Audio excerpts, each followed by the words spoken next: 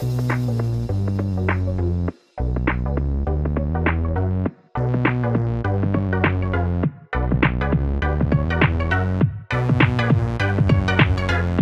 ខេតើលោកបងប្អូនជំរាបសួរទាំងអស់គ្នាថ្ងៃនេះគឺយើងជួបគ្នាម្ដងទៀតហើយក្នុងការរៀនភាសាអង់គ្លេសរបស់យើងអូខេអញ្ចឹងក្នុងអត្ថបទនេះគឺតកតងជាមួយនឹង subjects subjects គឺមានន័យថាមុខវិជ្ជាសិក្សាអញ្ចឹងថាមុខវិជ្ជាសិក្សាដែលយើងរៀននៅសាលាហ្នឹងគឺមានមុខវិជ្ជាខ្លះ ហើយនៅក្នុងភាសាអង់គ្លេសហ្នឹងគេថាមិនខ្លះហើយសម្រាប់បងប្អូនដែលមិនទាន់បានចុច Subscribe សូមចុច Subscribe និងចុចសញ្ញាកណ្ដឹងដើម្បីទទួលបានមេរៀនថ្មីៗពីខ្ញុំ OK តោះអញ្ចឹងដើម្បីកុំឲ្យខាតពេលយើងចាប់ផ្ដើមមេរៀនរបស់យើងដូចតទៅ OK អញ្ចឹង subjects subjects មានន័យថាមុខវិជ្ជាសិក្សា OK ឥឡូវបងប្អូនក្រឡេកមើលទី1នេះគឺយើងមានអីគេ geography geography នេះគឺមានន័យថាភូមិវិទ្យា geography ភូមិវិទ្យាទី2 mathematics មានន័យថាគណិតវិទ្យាដែលភាគច្រើនគឺគេសរសេរអក្សរកាត់គេដាក់ maths maths មានន័យថាគណិតវិទ្យាណា science science គឺមានន័យថាវិទ្យាសាស្ត្រ science វិទ្យាសាស្ត្រខ្មែរគឺមានន័យថាភាសាខ្មែរ English ភាសាអង់គ្លេស Physics Physics គឺមានន័យថារូបវិទ្យា Physics បងប្អូនទៅចាំថា Physics នេះគឺតែងតែមាន S ជានិច្ចណា កាលណាគេសរសេរគណិតវិទ្យាគឺគេត្រូវតែមាន S ពីក្រោយរហូតព្រោះពាក្យហ្នឹងវាអញ្ចឹងណា Mathematics កាលណាគេសរសេរកាត់ក៏គេដាក់ S អញ្ចឹងដែរណា Maths Science វិទ្យាសាស្ត្រ physics គឺចាំបាច់ត្រូវតែមានឯងចឹងដែរណាបងប្អូនរូបវិទ្យា geography ភូមិវិទ្យា history ប្រវត្តិវិទ្យាគេអាន history ណាបងប្អូនគេសរសេរ history តែពាក្យនេះគេអាន history history មានន័យថាប្រវត្តិវិទ្យាប្រវត្តិសាស្ត្រណា biology biology មានន័យជីវវិទ្យា biology arts art ហ្នឹងគឺសិល្បៈមុខវិជ្ជាខាងផ្នែកសិល្បៈ arts agriculture agriculture គឺកសិកម្ម agriculture earth science earth science មានន័យថាវិទ្យាសាស្ត្រផែនដីឬក៏ផែនដីវិទ្យាណាបងប្អូន earth science វិទ្យាសាស្ត្រផែនដី morality civics morality civics មានន័យថាសិលធម៌ពលរដ្ឋអញ្ចឹងពាក្យ morality នេះគឺមានន័យថាសិលធម៌ហើយពាក្យ civics មានន័យថាពលរដ្ឋ information technology information technology មានន័យថាព័ត៌មានវិទ្យាណាព័ត៌មានវិទ្យា chemistry chemistry គឺមានន័យថាគីមីវិទ្យាហើយនៅមានមុខវិជ្ជាមួយចំនួនទៀតអូខេអញ្ចឹង ទាំងអស់នេះគឺជាមុខវិជ្ជាដែលយើងរៀននៅសាលាអូខេឥឡូវបងប្អូនកលេចមើលនេះ geography ភូមិវិទ្យា mathematics គណិតវិទ្យាឬក៏យើងហៅថា maths science វិទ្យាសាស្ត្រខ្មែរគឺភាសាខ្មែរ English ភាសាអង់គ្លេស physics រូបវិទ្យា geography ភូមិវិទ្យា history history ប្រវត្តិវិទ្យា biology ជីវវិទ្យា arts សិល្បៈ agriculture កសិកម្ម earth science វិទ្យាសាស្ត្រផែនដី morality civics សិលធម៌ពលរដ្ឋ information technology ព័ត៌មានវិទ្យា chemistry គីមីវិទ្យាអូខេអញ្ចឹងទាំងអស់ហ្នឹងគឺជាមុខវិជ្ជាសិក្សាណាតោះឥឡូវយើងបន្តមេរៀនយើងទៀត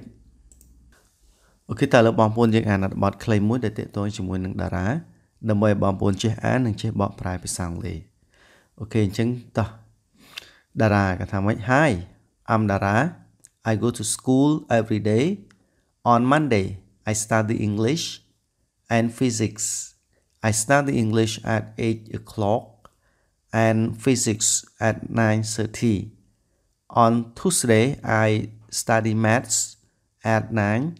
and Khmer at 2 p.m. អូខេអញ្ចឹងក្នុងនេះគេសរសេរថា Hi សួស្តីខ្ញុំឈ្មោះតារា I'm Dara ខ្ញុំឈ្មោះតារា I go to school ខ្ញុំទៅសាលារៀនអញ្ចឹងពាក្យ go នេះទៅណា I go ខ្ញុំទៅ to school ទៅសាលារៀន every day every day គឺមានន័យថារាល់ថ្ងៃ every day រាល់ថ្ងៃ on monday នៅថ្ងៃច័ន្ទ i study english ខ្ញុំសិក្សាភាសាអង់គ្លេសអញ្ចឹងពាក្យ study សិក្សា english ភាសាអង់គ្លេស and និង physics និងរូបវិទ្យា physics នេះគឺមានន័យថារូបវិទ្យា I study English at 8 o'clock ខ្ញុំសិក្សាខ្ញុំសិក្សាភាសាអង់គ្លេសនៅម៉ោង8កុដ and physics at 10:30និង រូបវិទ្យានៅម៉ោង10:30នាទីជាងពាក្យ physics រូបវិទ្យា at នៅឯ10:30ម៉ោង10:30នាទី on Tuesday នៅថ្ងៃអង្គារ I study maths ខ្ញុំសិក្សាគណិតវិទ្យាអញ្ចឹង I នៅកន្លែងនេះណា I ខ្ញុំ study សិក្សា maths គណិតវិទ្យា at 9នៅម៉ោង9 and ខ្មែរ at 2 pm និងភាសាខ្មែរនៅម៉ោង2ល្ងាចអញ្ចឹងពាក្យ 2 pm គឺកាលណាគេប្រើ pm គឺម៉ោងហ្នឹងគឺវាចាប់ផ្ដើមក្រោយម៉ោង12ថ្ងៃត្រង់រហូតដល់ម៉ោង12យប់អញ្ចឹងគឺវាចាប់ផ្ដើមរសៀលឬក៏ល្ងាចណាពេលហ្នឹងគឺវាចាប់ផ្ដើមក្រោយម៉ោង12ថ្ងៃត្រង់ទៅគឺយើងប្រើ PM អញ្ចឹងហើយគឺមានន័យថារសៀលណាពីពីរសៀលអូខេអូខេតើលោកបងប្អូនយើងចាប់ផ្ដើមមេរៀនរបស់យើងតទៀតគេដាក់ថាម៉េច I study science at 9:30 and English at 3 p.m. on Wednesday. On Saturday I have science and maths classes from 8 to 11. I have English class again on Friday at 8. On Saturday and Sunday I play with my friends. Saturday and Sunday are my favorite days. អញ្ចឹងក្នុងនេះគេសរសេរថាម៉េច I study science ខ្ញុំសិក្សាវិទ្យាសាស្ត្រនៅម៉ោង9:30នាទីអញ្ចឹងពាក្យ science បងប្អូនដឹងប្រែថាវិទ្យាសាស្ត្រណាហើយ study នឹងសិក្សាខ្ញុំសិក្សាវិទ្យាសាស្ត្រ at 9:30នៅម៉ោង9:30នាទី and English និងភាសាអង់គ្លេស at 3 pm និងភាសាអង់គ្លេសនៅម៉ោង3រសៀលអញ្ចឹង PM ហ្នឹងគឺមានន័យថារសៀលណាមានន័យថាក្រោយម៉ោង12ថ្ងៃត្រង់ទៅគេប្រើ PM ពីក្រោយអញ្ចឹងគឺ3 ក្រោយម៉ោង12ថ្ងៃត្រង់មានន័យ3រសៀល on Wednesday នៅថ្ងៃពុធ On Thursday នៅថ្ងៃប្រហ័ស I have science and math classes ខ្ញុំសិក្សាវិទ្យាសាស្ត្រនិងគណិតវិទ្យាអូខេអញ្ចឹងពាក្យពាក្យ have classes ហ្នឹងមានន័យថាពាក្យ have ឲ្យបូកជាមួយ classes ហ្នឹងគឺមានន័យថារៀនណាបងប្អូនអញ្ចឹងក្នុងហ្នឹងគេសរសេរថាខ្ញុំរៀនវិទ្យាសាស្ត្រនិងគណិតវិទ្យាអឺ from 8 to 11អញ្ចឹង from ពីពីម៉ោង8ដល់ម៉ោង10 11ណា8 to 11 I have an English class ខ្ញុំរៀនភាសាអង់គ្លេសអូខេអញ្ចឹង English class នេះគឺមានន័យថាអឺរៀនភាសាអង់គ្លេសនេះគេបូកជាមួយ have បូកជាមួយ class នេះគឺមានន័យថារៀនហើយបើសិនជារៀនមុខវិជ្ជាមួយយើងពាក្យ have ហើយបូកជាមួយមុខវិជ្ជានឹងដាក់កដាលមកដាក់ class មកគឺមានន័យថារៀនមុខវិជ្ជាហ្នឹងហើយ អញ្ចឹង I have an English class មានន័យថាខ្ញុំរៀនភាសាអង់គ្លេស again ម្ដងទៀត on Friday នៅថ្ងៃសុក្រ at 8នៅម៉ោង8 On Saturday នៅថ្ងៃសៅរ៍ and Sunday I play with my friends នៅថ្ងៃសៅរ៍និងនៅថ្ងៃអាទិត្យខ្ញុំលេងជាមួយមិត្តភ័ក្តិរបស់ខ្ញុំអញ្ចឹងពាក្យ play with នេះគឺមានន័យថាលេងជាមួយ my friends មិត្តភ័ក្តិរបស់ខ្ញុំ Saturday and Sunday are my favorite days ថ្ងៃសៅរ៍និងថ្ងៃអាទិត្យគឺជាថ្ងៃដែលជាទីចូលចិត្តរបស់ខ្ញុំអូខេអញ្ចឹងពាក្យ favorite នេះជាទីចូលចិត្តណា my favorite days ថ្ងៃដែលជាទីចូលចិត្តរបស់ខ្ញុំអូខេយើងទៅមុខទៀតអញ្ចឹងជាបន្តនេះគឺតកតងជាមួយនឹងការសន្ទនាណាបងប្អូន យើងរៀនសន្ទនាដែលតកតងជាមួយនឹងមុខវិជ្ជាសិក្សាឬក៏ការសិក្សាអញ្ចឹងខ្ញុំបានប្រាប់បងប្អូននេះពាក្យ have class នេះបងប្អូនមើលណា have class នេះគឺមានន័យថាសិក្សាឬក៏រៀនអញ្ចឹងបើសិនជាបងប្អូនចង់សួរថាតើអ្នករៀនម៉ោងប្រហែលអញ្ចឹងបងប្អូនឲ្យសួរថា what time what time do you have class what time do you have class តើអ្នកសិក្សានៅម៉ោងប្រហែលតើអ្នករៀននៅម៉ោងប្រហែលណា what time do you have class I have class at 7 am ខ្ញុំសិក្សានៅម៉ោង7ព្រឹកអញ្ចឹងតែអត់ថាយើងរៀនម៉ោង7ព្រឹកអញ្ចឹងណាអញ្ចឹងពេល have class មានន័យថារៀនឬក៏សិក្សាណា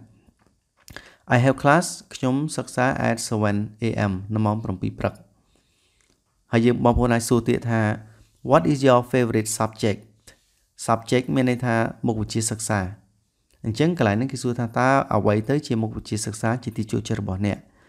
អញ្ចឹងពាក្យ favorite នេះគឺអ្វីដែលបងប្អូនចូលចិត្តណាអ្វីដែលបងប្អូនចូលចិត្តអញ្ចឹង favorite favorite subject មានន័យថាមុខវិជ្ជាសិក្សាដែលជាទីចូលចិត្តរបស់អ្នកគឺអ្វីអញ្ចឹងណាឬក៏បងប្អូនប្រែសួរស្រាប់មុខវិជ្ជាសិក្សាជាទីចូលចិត្តរបស់អ្នកហ្នឹងគឺអ្វី What is your favorite subject ហើយលើបងប្អូនឆ្លើយ My favorite subject មុខវិជ្ជាសិក្សាជាទីចូលចិត្តរបស់ខ្ញុំ is គឺ English ភាសាអង់គ្លេសអញ្ចឹង English ហ្នឹងគឺមានន័យភាសាអង់គ្លេស What grade do you study in អញ្ចឹង what grade ពាក្យ grade ហ្នឹងគឺមានន័យថាអឺថ្នាក់ study in ហ្នឹងគឺសិក្សានៅក្នុងថ្នាក់ទីប្រមាណគេចង់សួរណា What grade do you study in តើអ្នកសិក្សានៅក្នុងថ្នាក់ទីប្រមាណអូខេបើសិនចង់មកសួរថាមកលើអ្នកសិក្សាអ្នករៀននៅថ្នាក់ទីប្រមាណជាងមកមុនឲ្យសួរថា What grade do you study in I study in grade 9 ខ្ញុំសិក្សានៅថ្នាក់ទី9អញ្ចឹងទៅហើយបើថ្នាក់ទី7អី I study in grade 7អញ្ចឹងណាបងប្អូនអូខេអញ្ចឹងនេះគឺរបៀបសួរដែលបងប្អូនអាចយកសួរគ្នាបាន uh when do you have english class នៅពេលណាដែលអ្នកសិក្សាភាសាអង់គ្លេសអញ្ចឹងគឺយើងអាចប្រើ when ដើម្បីសួរពីពេលពេលវេលា ដូចជាថ្ងៃអីម៉ោងអីក៏បានដែរណា when ពេលណា when do you have english class ពេលណាដែលអ្នកអឺរៀនភាសាអង់គ្លេសអូខេអញ្ចឹង have english class ហ្នឹងគឺរៀនភាសាអង់គ្លេស on monday នៅថ្ងៃច័ន្ទអូខេ on monday នៅថ្ងៃច័ន្ទបងប្អូនទៅចាំថាកាលណាតេតួមួយថ្ងៃគឺគេប្រើ preposition on ណាគេប្រើ on បើកាលណាតេតួជាមួយម៉ោងគេប្រើពាក្យ at ឬក៏ in អញ្ចឹងទៅណា What time do you study maths ម៉ោងប្រហែល ដែលអ្នកសិក្សាគណិតវិទ្យាអូខេតើម៉ោងប៉ុន្មានដែលអ្នកសិក្សាគណិតវិទ្យា I study maths at 9:30ខ្ញុំសិក្សាគណិតវិទ្យានៅម៉ោង9:30នាទីនេះបងប្អូនឃើញទេនេះអញ្ចឹង9:30នាទីវាជាម៉ោងអញ្ចឹងគេប្រើ at Monday ថ្ងៃគេប្រើជាមួយពាក្យ on ណាបងប្អូនទៅចាំត្រូវមើល preposition ណាដែលប្រើជាមួយពេលវេលាហ្នឹងត្រូវមើលផង What subject are you good at មុខវិជ្ជាអ្វីដែលអ្នកពូកែអញ្ចឹងពាក្យ good at ហ្នឹងមានន័យពូកែ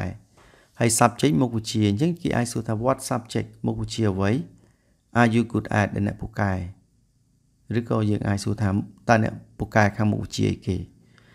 I'm good at physics ខ្ញុំពូកែខាងគណិតវិទ្យាខាងរូបវិទ្យាខ្ញុំពូកែផ្នែករូបវិទ្យាអូខេ I'm good at physics ខ្ញុំពូកែផ្នែករូបវិទ្យាអូខេលើបងប្អូនមើលតទៅទៀតយើងអាចសួរថា what subject is the most boring អ what subject នេះមុខវិជ្ជាអ្វី the most boring មានន័យដែលគួរឲ្យធុញបំផុតណាអញ្ចឹងពាក្យ boring នេះគួរឲ្យធុញអញ្ចឹងបងប្អូនអាចសួរថា what subject មុខវិជ្ជាអ្វី is the most boring ដែលគួរឲ្យធុញបំផុតហើយពាក្យ the most ហ្នឹងមានន័យបំផុតណាបងប្អូន the most boring គួរធុញបំផុត biology បងប្អូនអាចឆ្លើយដូចខ្លីមុខវិជ្ជាណាមួយដែលបងប្អូនធុញឧទាហរណ៍ដូចថា biology គឺជីវវិទ្យាអញ្ចឹងទៅណាជីវវិទ្យា biology មានន័យជីវវិទ្យានេះគ្រាន់តែជាឧទាហរណ៍ទេ What subject is the most difficult អញ្ចឹង difficult មានន័យពិបាក the most នឹងបំផុត the most difficult មានន័យពិបាកបំផុតតើមុខវិជ្ជាអ្វីដែលពិបាកបំផុត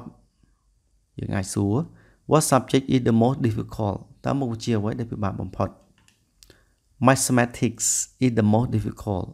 Mathematics បងប្អូនដឹងណាគណិតវិទ្យាគឺពិបាកបំផុត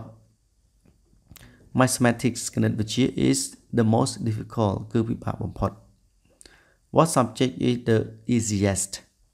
មុខវិជ្ជាអ្វីដែលងាយស្រួលបំផុតអូខេអញ្ចឹង subject នេះមុខវិជ្ជាណាមុខវិជ្ជាអ្វីដែលងាយស្រួលបំផុត What subject is the easiest តើមុខវិជ្ជាអ្វីដែលងាយស្រួលបំផុតអញ្ចឹងពាក្យ easiest ហ្នឹងងាយស្រួល កាលណាគេសរសេរជាទម្រង់ផ្ដាច់ superlative គេប្រើ the easiest មានន័យថាងាយស្រួលបំផុត geography is the easiest ភូមិវិទ្យាគឺងាយស្រួលបំផុតអូខេ geography ភូមិវិទ្យា is the easiest គឺស្រួលបំផុត